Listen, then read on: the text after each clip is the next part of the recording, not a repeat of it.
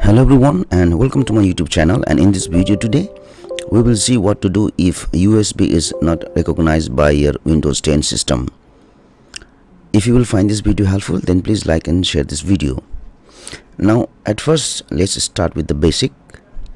The first thing which you will do is you will remove the usb drive from one port and then use it in another port to check if usb is recognized or not. Now also the other thing to make sure is try to use your your USB device in another system to make sure that it is actually working or not. So if you followed both of these steps above and if it doesn't uh, solve a problem then let's see what we can do next.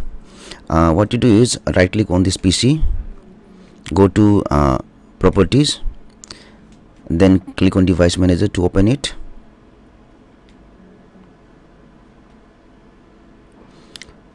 then scroll down and look for universal serial bus controller. Now you will see an option here usb mass storage device. What you do is right click on it then uninstall. Click on ok.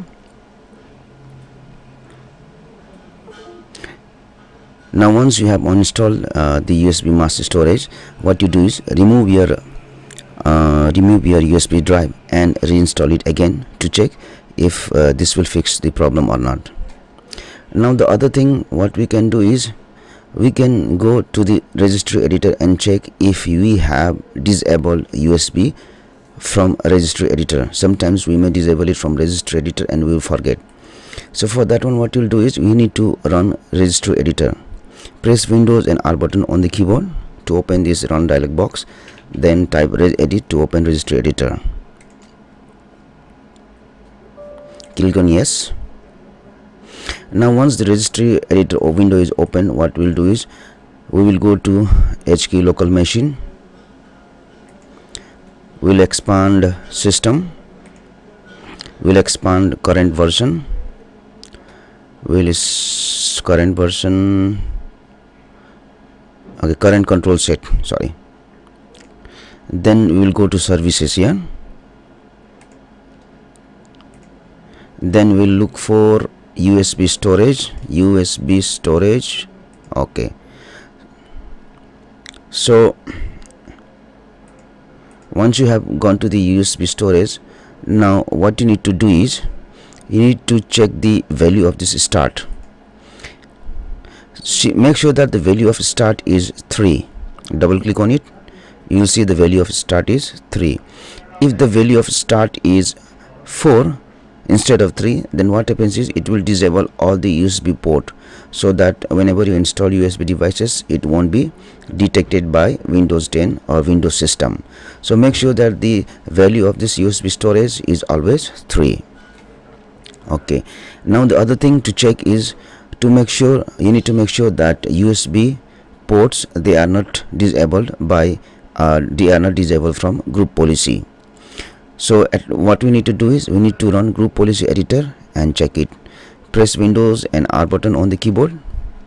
Then type gpedit.msc by the way in order to uh, run group policy or registry editor you need to log into your system as an administrator. So let me open group policy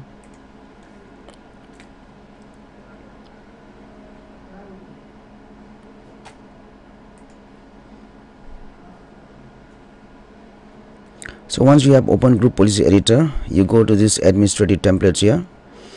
Go to administrative templates uh, go to system scroll down and look for removable storage access. Now you need to make sure that these options deny execute access deny read access or deny uh, deny write access all of them should be it should be not configured so that uh, USB store USB devices can be read or they can be uh, write or they can be executed. So once you go to group policy editor make sure that remove disk deny execute access deny read access deny write access and this one. All remo removable storage classes. This option should be not configured. If it is enabled then your system cannot uh, read or open the USB device. So follow these steps and i'm sure you can fix this problem. Thank you for watching this video. If you find this video helpful then please like share and subscribe to my youtube channel